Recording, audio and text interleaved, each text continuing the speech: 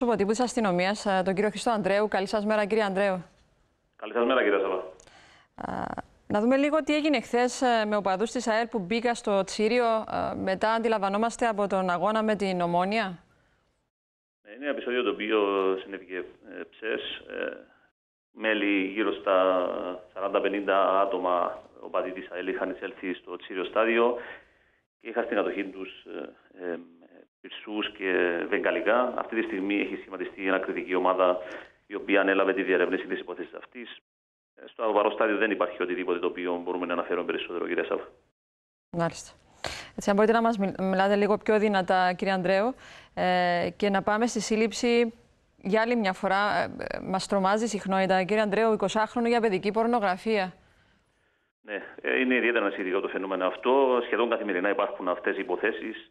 Ε, όσον αφορά το θέμα του συγκεκριμένη υπόθεση, ε, είχε, έχει συλληφθεί η δυνάμει δικαστικού εντάλματος 20χρονο κάτοικος της επαρχίας Λεμεσού για διευκόλυνση των ανακρίσεων σχετικά με διερευνόμενη υπόθεση κατοχής παιδικού πορνογραφικού υλικού. Ε, η πληροφορία διαβάστηκε μέσω της Europol, η οποία αφού αξιολογήθηκε, είχαμε προχωρήσει στην έκδοση του σχετικού εντάλματος ε, και η υπόθεση διερευνάται. Έχει γίνει και έρευνα στην οικία του 20χρονου που εντοπίστηκαν κάποια τεκμήρια τα οποία έχουν παραλυφθεί για δικανικές εξετάσεις. Αυτή τη στιγμή θα οδηγηθεί ενώπιον δικαστηρίου για την προφυλάκηση του. Η υπόθεση διερευνάται από το Γραφείο Καταπολέμησης Ηλεκτρονικού Εγκλήματος. Μάλιστα. Τώρα, και επειδή σήμερα αντίνονται οι έλεγχοι σε Λάρνακα και Ελεύθερη Αμόχωστο για παραβίαση των διαταγμάτων, κύριε Ανδρέου, μετά τις τελευταίες αποφάσεις και ε, τα πρόσθετα μέτρα στις δύο αυτές επαρχίες. Κατά το Σαββατοκυριακό που πέρασε, είχαμε τέτοιους ελέγχους στις δύο αυτές επαρχίες για τα υφιστάμενα μέτρα; Είχαμε ε, πληροφόρηση ότι υπήρχαν έτσι, πολύ συνοστισμός στα διάφορα παραλιακά της περιοχής κέντρα. Ναι, ε, μετά τη συναντήση που είχαμε πριν ε, λίγες μέρες με το Υπουργείο Υγείας, είχαμε ζητήσει να μας ενημερωνόμαστε σε εβδομαδιαία βάση, και αυτό γίνεται αυτή τη στιγμή, για τον επιδημιολογικό κίνδυνο που υπάρχει στις διάφορες περιοχές, ώστε η αστυνομία επικεντρώνει περισσότερο τις, ε, τους ελέγχους αυτούς, τις ε, ιδιαίτερα αυξημένου κινδύνου περιοχές.